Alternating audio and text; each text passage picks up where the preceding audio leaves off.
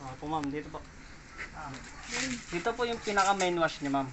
Pwede siyang gumamit ng liquid or powder na sabon. Mas maganda lang pong gamitin nyo, liquid. Tapos sa dami, tatansyahin nyo po kung gaano karami yung isasala nyo yung damit sa loob. Kumbaga kayo po yung magtatansya ng dami ng sabon. Bawal po sumobra. Kasi pagka sumobra po, yung bula, aangat yan dito. Tapos lalabas sa mga butas niya sa likod. Main wash, dito po yung pre-wash. Yung pre-wash po para sa mga maduduming damit po. Ayan po yung maglalaba muna siya. Kumbaga babalawan niya muna yung mga maruruming damit bago siya mag main wash. Opo. Kumbaga dalawang salang po yan ang gagawin nyo. Tapos dito po yung Sondrox, mga bleach. Dito po nilalagay yon. Tapos dito po yung softener, downy po. Yan. Sa dami naman po ng downy, nakadepende yan sa inyo kung gusto nyo mabangong mabango. Meron siyang guide, may max po. Meron May naman max po siya, ito. Max eh. Oo. Po. Tapos yung sa bleach din po, meron din guide. Yung sabon lang po ang wala. Wala. Kasi kayo po ang magtatansya. eh. Mm. Yan, okay na po. So dito sa buwan dito yung ano. Free wash para sa mga marurumi. Sobrang duming damit. Sobrang dumi. Mga mga puti na marurumi, ganun po. Oo. So walang Pero usually ma'am, ang ginagamit natin dito, ito lang. Si main wash. Ah, Opo. Pero lahat po yan, sa simula pa lang, ilalagay nyo na. Maglalagay na kayo ng sabon, maglalagay na kayo ng bleach, maglalagay na kayo ng downy. No, kasi may kanya-kanyang oras po yan kung kailan nyo kukunin. Okay? Okay po. Ito po yung on-off. Ito po yung start tsaka pause sa kabila. Pagka pipili po kayo ng program, ikot nyo lang po itong knob. Kung saan nakatutok yung ilaw, yun po yung gagawin niyang program. Mm. Si normal po yung pinaka-normal wash niya. Mm. Tapos yung dami na pwedeng isalang, 3 port load po. Hanggang dito. May makikita po kayo dyan parang tenga. Diyan. Hanggang dyan po. Ah, okay. Yan. Yan po yung dami na pwede nyo isalang sa kanya. Mm. Huwag lang lumagpas. Opo ma'am, wag lang yung pinasiksik talaga. Itong si heavy duty, sa mas makakapal naman po na tela. Mga pantalon po, pwede siya. Pantalon. Si baby care, gamit lang po ni baby. Hygiene sa underwear po siya. Allergy care, yung mga damit na gusto nyo pong isanitize. Hindi kaya medyo may allergy sa balat. Sportswear, yung mga dry fit na tela. Ginagamit pang sports. Katulad ng jersey. Yung mga ginagamit pang gym. Mm. Yan, si cold wash, parang si normal wash lang po ma'am. Ang pinagkaiba nila, si normal po kasi, gumagamit ng mainit na tubig sa paglalaba. Si cold wash, normal na tubig lang po. Normal na Kung ano po yung nandun sa gripo. Mm. Tsaka si normal, gumagamit siya ng dalawang banlaw lang po. Yan. Tapos si cold, gumagamit ng tatlong banlaw. banlaw. Yan. Ito po siya. Tapos, ito pong speed wash, yung mga napawisan lang, no? Hindi kaya mga bagong biling damit. Piraso lang po ang kaya niyang malabahan. Maximum niya ma'am, ano, mga 5 pieces po. Mm. Silent wash, para po yan sa mga ano, medyo delicates na damit. Yung mga mabibilis kumupas, ganun po. Color care, sa mga decolor po siya. Ah. Si Dubay, para sa kumot, bedsheet, punda. Pag comforter po ang lalabahan nyo, pwede siya dito sa heavy duty o di kaya kay Dubay. Ah, yan lang po, pipili lang po kayo dyan, heavy duty or Dubay. Kasi makakapal na tela po ang nilalaban nila. Laban. Si wool sa mahimulmul na tela, gaya po ng tuwalya. Mm. Hindi kaya may damit sila na mahimulmul po. Rinse plus spin, ito po yung mga hinandwash nyo manual. Tapos ayaw nyo po magbanlaw, siya na po ang gagawa. Babanlawan po niya, tapos spin dry. Si download cycle, spin lang po siya. Ito po yung hinandwash nyo, tapos kayo na rin po nagbanlaw. Gusto nyo, piga lang, yan lang po siya. Si download cycle. Spin po ang gagawin niya. Pagka gusto nyo po may dryer, punta nyo po kay normal. Tapos yung dryer, ma'am, additional lang po yan. Time dry, air dry, tsaka si turbo dry. Ang normal na dryer po dyan, itong si turbo dry. Kaso yung dami po, half load lang. May nakasulat naman po dito na kung gaano karami. Yung half load, hanggang dito lang po sa tornilyo na ito. Yan. Pagka complete cycle po siya, hanggang dryer na 100%. Si air dry naman po, para sa mga medyo maninipis po siya. na damit para hindi masira ka agad. Si time dry, kayo po yung mag-ooras ng dryer. Kung sa palagay nyo 30 minutes matutuyo na siya, yan po, pataas po ng pataas yan. Hanggang 2 and a half po. Mm. Yan po ang maximum niya. Tapos pagka nyo gumamit, balik lang po. Pero additional po yan mama, kung gusto nyo po gumamit ng dryer. Kung hindi naman, pili lang po kayo dito, tapos start.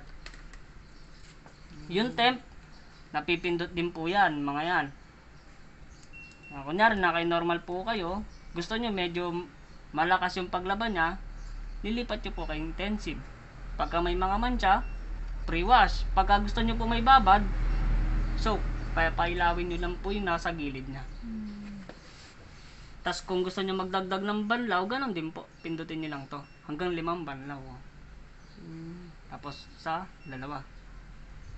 Yung spin niya, kung gusto nyo ng mas malakas po, ayun, dito po kay extra high.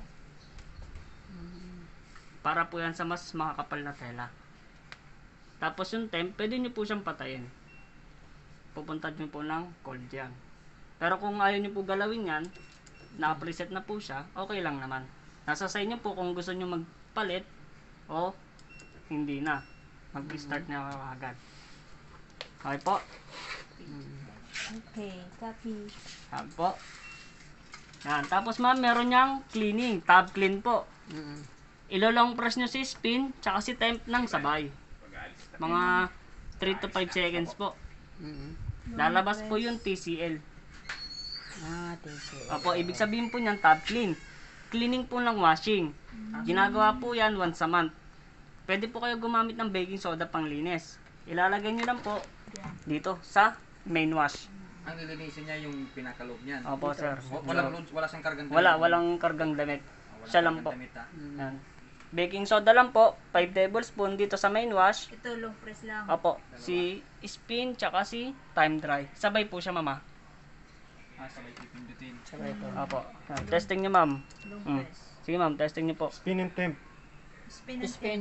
Ito ba? Hindi, temp tsaka time dry. Hindi. Tapos sabi mo, Di ba ito? And temp. Hold nyo lang 3 to Hold. 5 seconds. Di yata napindot. Yan. Yan. Yan. Yan.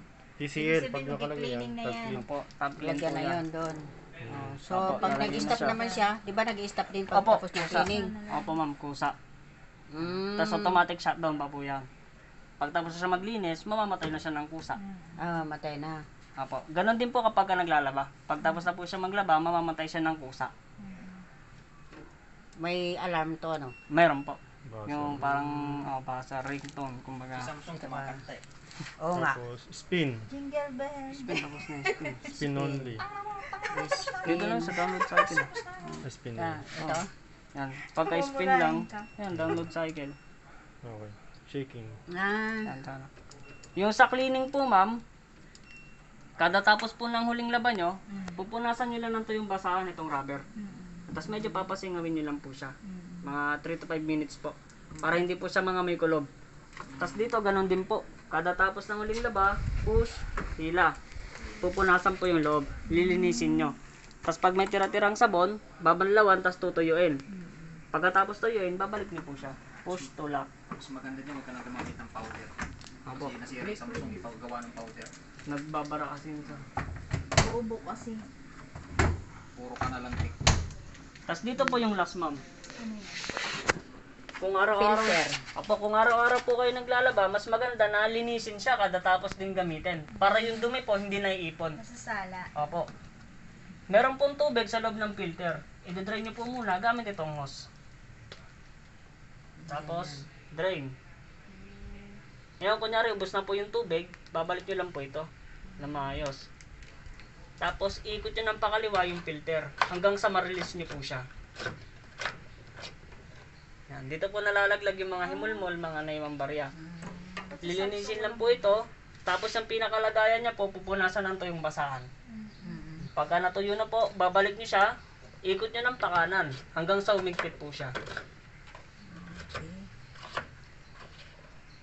Yan, tapos balik lang po ito sa loob at isasabit. Yan, tapos sarap. Yan, yan lang po. Alright. Tapos pag nag-spin po siya ma'am, may ingay at may ano talaga, uga. Natural lang po yun. Kasi yung item sa loob, basang-basa. Mm. Pero kapag ka na-drain naman po yung ang mga item sa loob na 50% dry, magiging stable na po siya. Magiging mawawala na po yung ingay na. Sa umpisa lang po yun, may ingay. Pwede ba nating isistingan ngayon? Ako, okay lang po. During, ano, Isa, is- kunin mo spinning, ay yung wash to dry, to, nasabi mo na kung ilang hours? Yun. Sige daw. Ano, Mm. hanggang dryer. Hanggang dryer yung laban nyo. Yung oras po niyan, tumatagal ng... Hindi, baka spin lang, spin lang naman Oo. ginagawa pag ganitong mainit. Kung Tulad sakali nito. lang po, ma'am. No? Ah. Kung sakali lang, Oh. maglalaba kayo may kasamang dryer, yung tagal ng oras sa paglalaba, umaabot ng 3 to 4 hours. Ganun po katagal. Sa spin na lang. Tapos kunyari, tapos na siya maglaba, may lalabas po dyan na CD. Ibig sabihin po nung cooldown. Huwag niyo po siyang pipilitin buksan kasi nakalak po yung pinto niyan Mm. kapag ka may CD po dyan. Kusa pong mawawala yung CD kapag, kapag ka na-sense na ng washing na, wala nang init sa katawan niya. Kasi iinit to ma'am eh. Oh, mainit kasi dryer Opo. nga eh. May dryer siya. Iinit po siya. Oh, so spin lang. Oh, tagulan. Tag-ulan lang yan. Yan, pagka nawala po yung, yung CD ma'am, tsaka nyo lang po siya mabubuksan. Mm. Ang ganon. Sa spin Pero kung lang. spin lang, huwag nyo na po siyang pipindutin. Oh, Yan. Ganyan lang po. yan yan na lang. Opo. So spin. Try nga natin to.